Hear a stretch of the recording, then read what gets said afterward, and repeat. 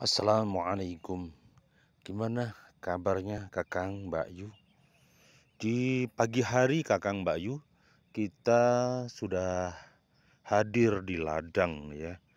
Menikmati panorama ladang dan hijau Kakang. Jadi di desa Pemandangan yang paling indah ya cuman tanaman padi yang hijau menyenangkan ini menjadi pemandangan rohani yang tidak bisa diukur dengan rupiah atau dengan uang. Jadi, pemandangan inilah yang senantiasa menenteramkan hidup seseorang. Karena apa? Padi itu menjadi tumpuan bagi orang desa.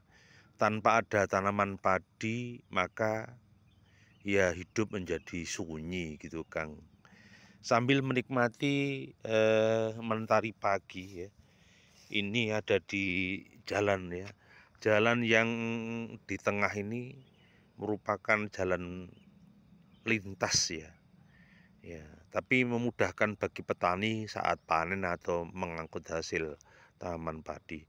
Kembali kepada situasi eh, tanaman padi yang menghijau. Ini menjadi santapan rohani bagi pikiran kita, menjadi santapan rohani bagi jiwa kita. Karena apa? Tanaman padi itu kan hijau. Ketika seseorang melihat sesuatu yang hijau itu terkesan teduh, nyaman gitu.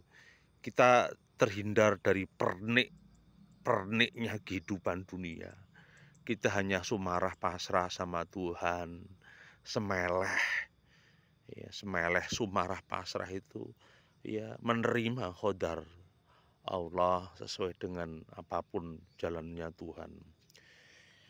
Jadi filosofis tanaman itu dengan pikiran dan jiwa seperti itu.